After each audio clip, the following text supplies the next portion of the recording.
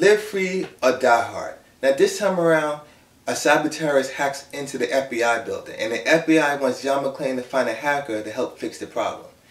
Now this is my favorite sequel to Die Hard because it goes into the person of John McClane rather, than hero. Now, for me in this movie, I saw John McClane as depressed. And you, figure out why he's depressed in this movie because as a hero, you think you get all the glory, you get you get all the fame, but you actually don't you really sacrifice a lot to be a hero, and you see why. And you see why in this movie that he's divorced, his kids don't want to talk to him, and the fact that he's still alone. So you you pay a price for being a hero, and it shows that even though you're a hero, it's not what it's cracked up to be. Simple as that.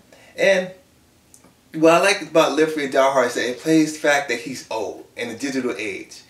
And last time we seen John McClane, he last time you see John McClane was about 12 years ago since the last movie. Because the last movie came out in 1995 and this is 2007. So it's a full 12 years since we've seen John McClane. He's about 50 years old, so he's really old. And they made fun of, they made fun of his old age throughout the whole entire movie.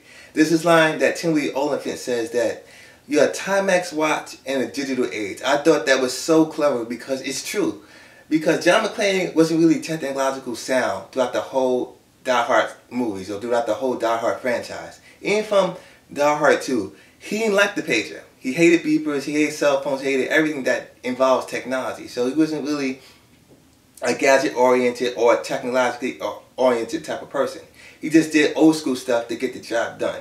Now, and that's why they had Tim, and that's why they had Justin Long character be somewhat of a, somewhat of a nerd to help him out. And he was good throughout the whole entire movie from being that comic relief to help John McClane out throughout the whole entire movie.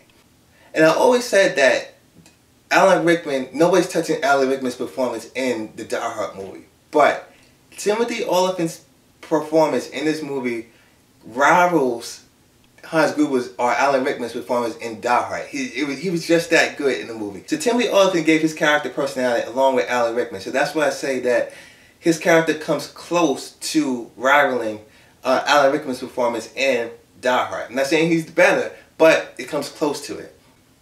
Now, Len Wiseman was a big fan of Die Hard, and shows in this movie. Because from beginning to end, you can tell this is one of the most grittiest Die Hard movies we've seen yet, at least in my opinion.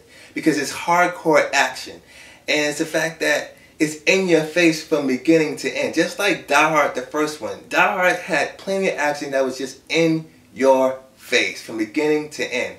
John McTiernan you know how to direct. Uh, John McTiernan, who directed the first movie and the third movie, was just like that, and he knew how to direct action. Same thing with Len Wiseman. He do, he knew how to direct action in this movie because he was a big fan of Die Hard, and just shows that he paid tribute to Die Hard in this movie. Now, personally for me, I have no problems with this movie. I loved it from beginning to end. Now, I have a gripe with fans of this movie that people complain about. Now, people complain about that John McClane doesn't jump on an F-22 fighter jet. I said, really? Really? This movie is in a digital age, so you have to jump up the action a little bit. Now, if you don't like it, so what? For me, I thought it made the movie even more better. Because if you didn't like, people thought that him jumping on an F-22 fighter jet was an unreal. It's an action movie. Get over it. It's an action movie because think about it in every action movie that you do, you have to up the ante every scene or every movie that you do. You can't just do the same thing over and over again. If you didn't like the F-22 uh, scene, then watch the original Die Hard where it doesn't have an F-22 scene in it. And when I look at this, when I look at Live Free or Die Hard, it's a old school versus new school. John McClane uses old school tactics, old school tactics to get the job done. He uses anything at his disposal. If it's new school, old school, he just uses anything to get the job done. That's what Die is all about. So if you want to use a fighter jet to get to where he needs to go, then fine. Let it be. If you don't like the F-22 pilot jet, then watch Die Hard 1, 2, and 3 where it doesn't have fighter jets in it. For me personally, I had no problem with it. It just made the movie actually better. And suspend belief when it comes to that part. Because really, really, come on. I mean, with every action movie, you have to make it the action scenes more better in some movie in some action movies. So, like I said before, it just added to the movie, make the movie more better.